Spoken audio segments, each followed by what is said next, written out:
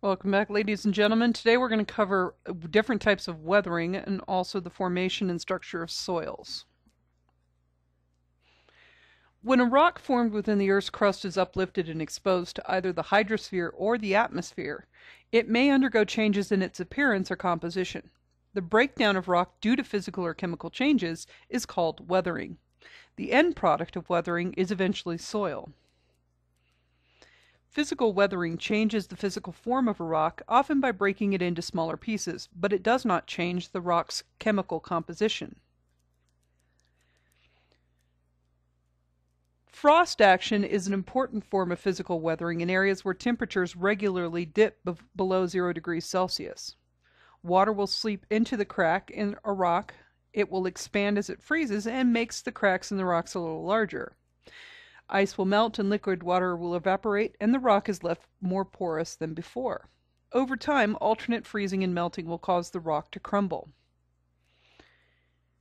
Plant roots can also grow in the cracks of rocks, and you can see here a tree is basically engulfing this one.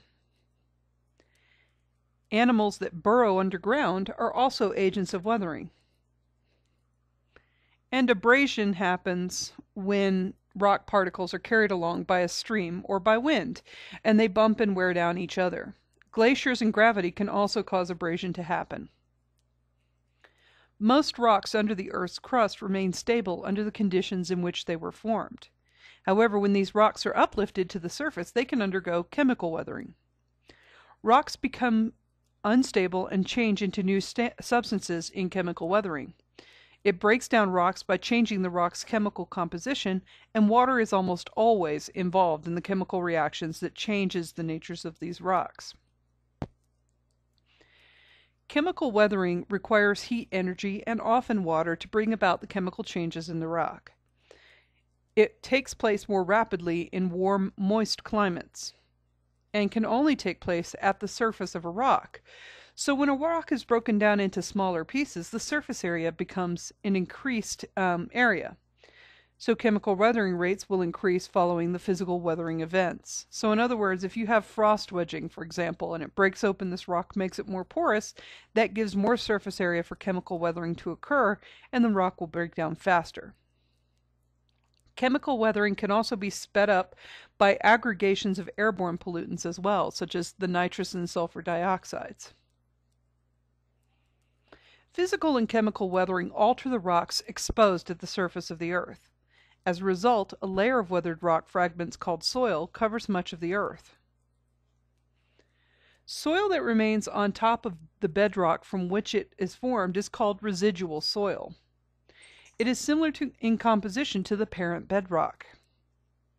Soil that is carried away from the location of its parent rock to a new location is called transported soil and it can have a different chemical composition of that of the bedrock on which it rests. Agents of erosion such as running water, moving ice, wind, along with gravity, are responsible for transporting soils from one location to another. Under natural conditions, both physical and chemical weathering processes are usually involved in the development of soils. Physical weathering breaks solid rock into small particles. Chemical weathering changes hard minerals into softer forms. Plants and animals add organic materials in the form of waste products and dead organisms. The decay of organic remains produces organic acids, which accelerates chemical weathering. Burrowing animals such as earthworms, insects, and rodents help circulate air and water through the soil and mix organic remains and minerals together. All of these processes may form a soil with distinct layers called soil horizons. The upper layer is the A horizon. The top of the A horizon is usually rich in dark-colored organic remains, also called humus. Water, air, and a variety of living things are also present. Some important minerals have leached or dissolved out of the A horizon and carried deeper into the soil as water infiltrates farther into the ground. The B horizon is poor in organic minerals, but it is are materials, but it is enriched by minerals that have leached out of Horizon A. Horizon C is composed of broken up bedrock in various stages of decomposition and weathering, and it sits upon the unweathered solid bedrock. And again, remember, C horizon can be either um, parent soils or it can be transported soils. As water infiltrates the horizons of a soil, it picks up ions from substances formed during the chemical weathering of the rocks. After infiltration, a soil solution containing ions is present in the water supply. Plants use the soil solution for growth.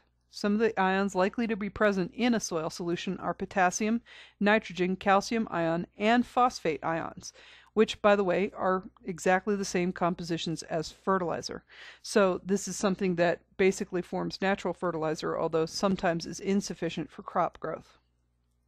Okay, so that concludes the Weathering and Soils lecture, and I hope you have a great day, and next time we will cover erosion and deposition.